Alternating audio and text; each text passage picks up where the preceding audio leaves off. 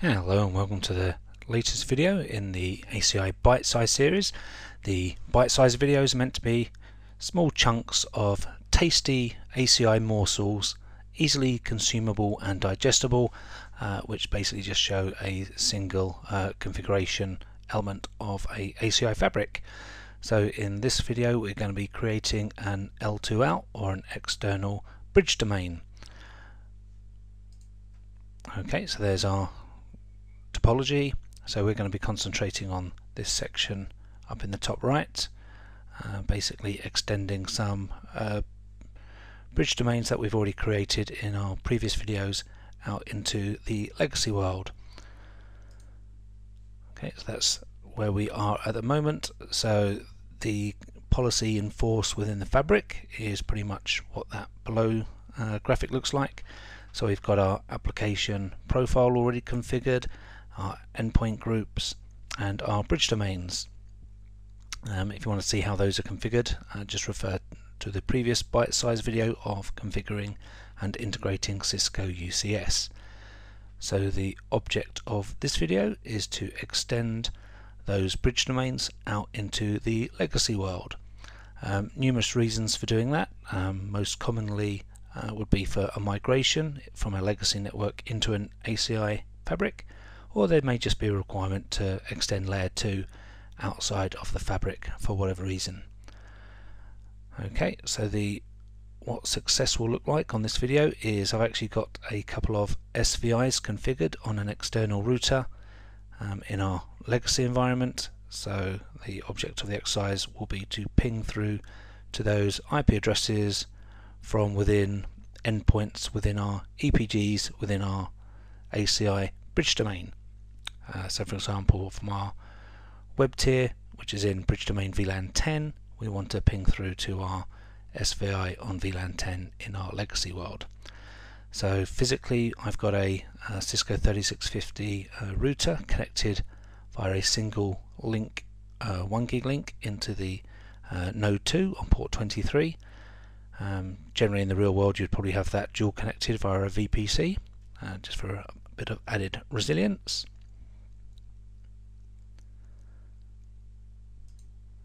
Okay, and that's how it will look like from a logical point of view. So our two bridge domains are the sort of the pinky boxes down there, and we're going to extend those bridge domains into the legacy environment, uh, VLAN 10 and VLAN 20 respectively. Now there's two ways of doing an L2 out. You can either extend the EPG, um, and again if we if you want to have a look at how that's done, it's a very similar process to basically uh, configuring an EPG on a particular port. It's very similar to how a bare metal server um, is integrated into the fabric. Or the other way is to extend the bridge domain. Um, so the main difference being is you're again remembering our ACI 101 um, elements within an EPG by default can talk requiring no contract. Uh, you can turn that off, but by default they will talk without a contract. So if you have any requirement to control the traffic between your um, ACI environment and your legacy environment, which I guess you know the majority of customers would, um, in that case you would want to create an external EPG, um, which means that you can actually have a contract between the two. So a contract between your internal EPG and your external EPG. And so that's the method we'll use here, extending out the bridge domain. Okay, so let's get on with the configuration. So let's get a ping going to our SVIs. So this is my external switch. So if I show IP int brief, you'll see I've got two SVIs created VLAN 10 and VLAN 20, both of which end in 200. And if I have a look at the interface that connects into the uh, node 2 of the fabric,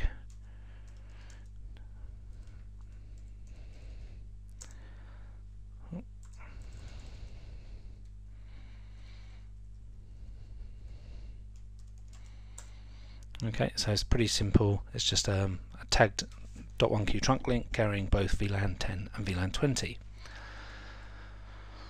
Okay, so first thing we need to do is set up the connection into the legacy switch from the fabric.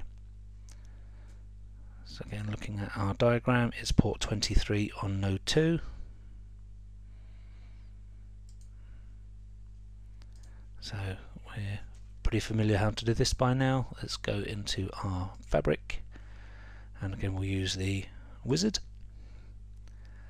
so this is not a VPC, it's a single connection. So at the moment the only switch policies we've got are um, applied to two switches.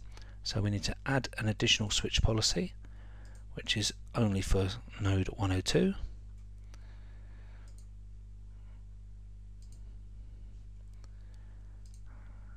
Okay.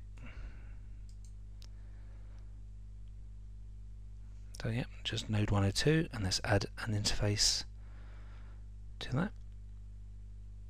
So it's an individual link, not a VPC this time, and it is on port 1 slash 23. We'll give it a, a sensible name like legacy switch. So again, this would probably more, commonly represent a, a Nexus or a you know, catalyst switch outside of the ACI environment. Okay, we want to create a link level policy. As I mentioned, this is only a, a 1 gig link, so we want to create a 1 gig policy. Put a nice capital G there. And speed to 1 gig.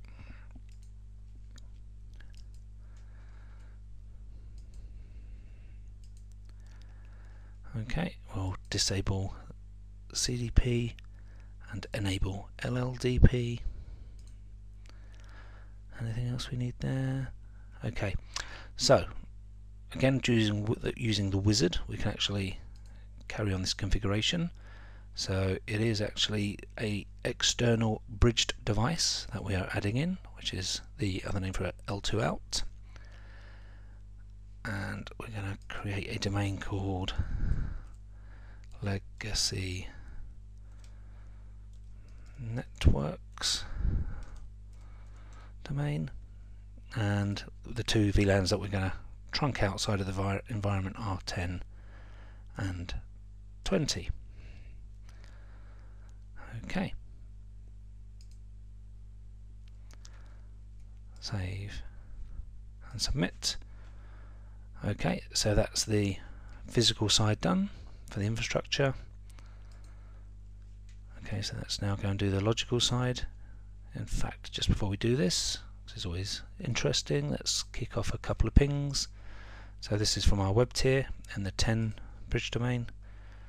So let's kick off a continuous ping to the SVI in the legacy environment. And we'll do the same for the app tier. So this is in the bridge domain of uh, the 20 subnet. So the object of the exercise is to get those pings responding. Okay. Okay, so let's go back to our tenant and our SDN lab tenant. Let's have a look how our application's doing. Okay, so we've got our web and app tiers. So the object now is to extend those out into the legacy network. So in order to do that, we go into our networking tab external bridged networks. We want to create a bridged outside, so we'll call this VLAN 10. We're going to associate that with the legacy networks domain and we're going to associate it with our internal VLAN 10 bridge domain and we need to use the same encapsulation that the legacy switch is expecting. So we'll tell that VLAN 10 and our port which we created with a little wizard is on port 23 of node 2 so remembering to click add there. Okay that all looks good. Okay so obviously we need to associate a contract with an LPG so in this case we need to create an external representation of that network so we just need to give it a name and we'll call it external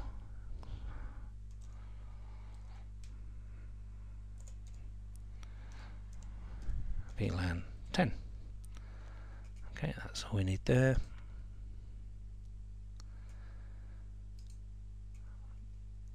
Okay, finish. So there's our VLAN 10 external bridge domain with our external VLAN 10 network, our external EPG. So let's do the same for VLAN 20. So call this VLAN 20. External bridge domain is the same one, legacy networks domain. Our internal bridge domain will now be our VLAN 20 bridge domain. And again, the encapsulation has to match the tagging on the external layer 2 switch. So that will be 20. Again, it's a single port. And again, it's the same port, node 2, port 23. Again, add that.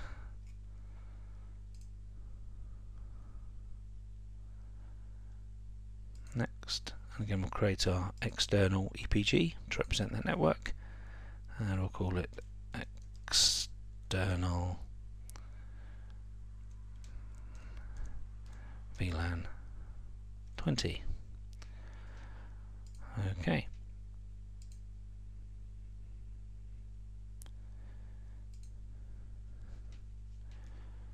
Okay so we have both of those in.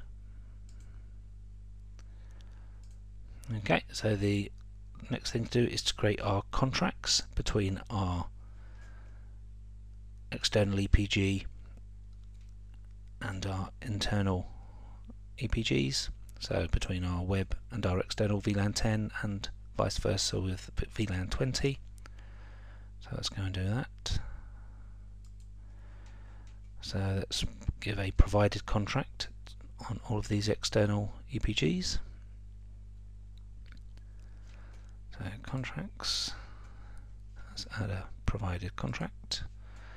Again, just for ease, we'll use that permit any, but again, you could create as, as granular um, contracts or ACLs as, as you needed to.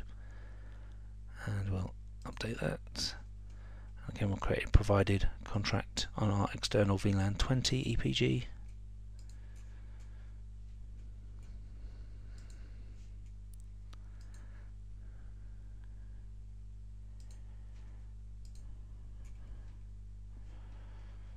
Okay, so now let's just confirm that we have a consumed contract on both of our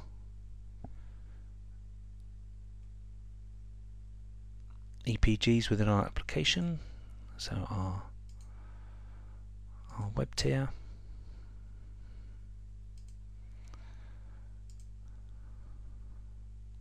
Okay, we have a provided contract but not a consumed contract.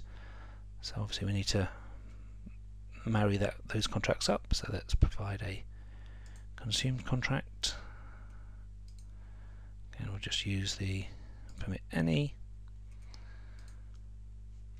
And let's just double check our application EPG contracts. And we already have a consumed contract there. So let's have a look at our application now. Ah, so you can see now we have a couple of L2 outs so let's check our pings. Ah, okay, so we can now ping through to our SVI on both VLAN 10 and VLAN 20. So let's also pop back to our external switch and just make sure we can ping inside the fabric. So let's try and ping our bridge domain or default gateway within the fabric.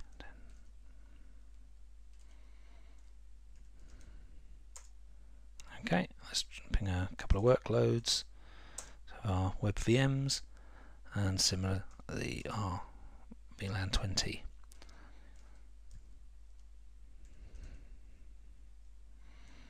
There's our bridge domain gateway within the fabric. And one of our VMs. Um, obviously, if you had your um, default gateway outside of the ACI fabric, um, which is you know, more than feasible, and again, that may be for a, a temporary migration uh, measure, or it could be you know you've got an external firewall providing your default gateway.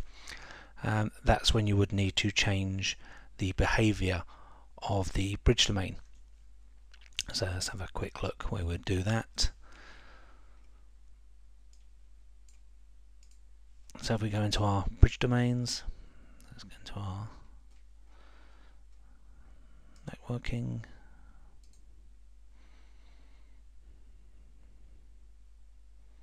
Yeah, so by default there the bridge domain is set to hardware proxy, which basically means that if the leafs don't know a destination, it will just send it to the spines. Now, obviously, if the destination is outside of the fabric, that, that those ARPs or that that traffic um, is not going to get to its destination. So, if you if you're using a gateway um, outside of the fabric or extending your layer 2 outside of the fabric, um, you need to just send that to flood.